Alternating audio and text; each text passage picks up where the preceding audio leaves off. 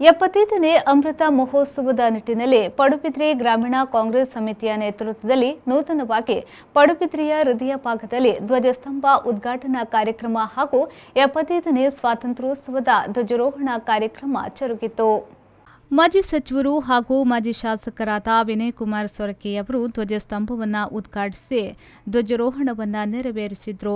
ಬಳಿಕ ಮಾತನಾಡಿದ ಅವರು, ನಾಡಿನ ಸಮಸ್ತ ಜನತೆಗೆ ಶುಭ ಹಾರೈಸಿ ಶಾಂತಿ ಸಹಬಾಳ್ವೆಯಿಂದ ಬದುಕಬೇಕೆಂದು ಹೇಳಿದರು. ಒಟ್ಟಾಗಿ ಹೋರಾಟ ಮಾಡಿದಂತ ಫಲ ಇವತ್ತು ಸ್ವಾತಂತ್ರ್ಯ ನಮಗೆ ಸಿಕ್ಕಿರುವಂಥದ್ದು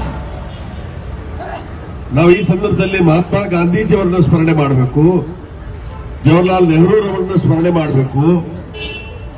ವಲ್ಲಭಾಯ್ ಪಟೇಲ್ ರವರನ್ನ ಸ್ಮರಣೆ ಮಾಡಬೇಕು. ಬಾಲಗಂಗಾಧರ ತಿಲಕರನ್ನ ಸ್ಮರಣೆ ಮಾಡಬೇಕು.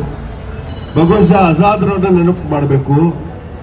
ಅದೇ ರೀತಿಯಾಗಿ ಸುಭಾಷ್ ಚಂದ್ರ ಬೋಸ್, ಭಗತ್ ಸಿಂಗ್ ಅನೇಕ ಮಹಾನ್ ಪುರುಷರುಗಳನ್ನ ನಾವು ನೆನಪಿಸುವಂತ ಕಾರ್ಯಕ್ರಮ ಹಮ್ಮಿಕೊಳ್ಬೇಕು. ನಮ್ಮ ದೇಶ ಅತಿ ದೊಡ್ಡ ಪ್ರಜಾಪ್ರಭುತ್ವ ರಾಷ್ಟ್ರ.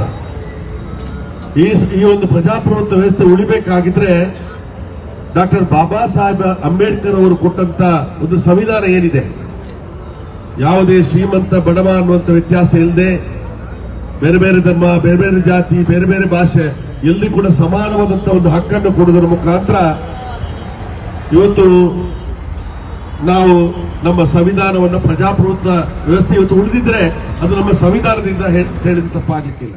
ಈ ಕಾರ್ಯಕ್ರಮದಲ್ಲಿ ಗ್ರಾಮೀಣ ಕಾಂಗ್ರೆಸ್ನ ಅಧ್ಯಕ್ಷ ಕರುಣಾಕರ್ ಪೂಜಾರಿ ಸ್ವಾಗತಿಸಿದ್ರು. ಈ ಸಂದರ್ಭದಲ್ಲಿ ಅತಿಥಿಗಳಾಗಿ Naveen Chandra J Shetty Naveen N Shetty, Harish Shetty Padebettu, Santosh Shetty, MS ಶಾಪಿ, ಜ್ಯೋತಿ ಮೆನನ್, ಗಣೇಶ್ ಕೋಟ್ಯಾನ್ ಮತ್ತಿತರರು ಉಪಸ್ಥಿತರಿದ್ದರು. ಸುರೇಶ್ ಶರ್ಮಾಳ್, ವಿ ಫೋ ನ್ಯೂಸ್, ಪಡುಬಿದ್ರ.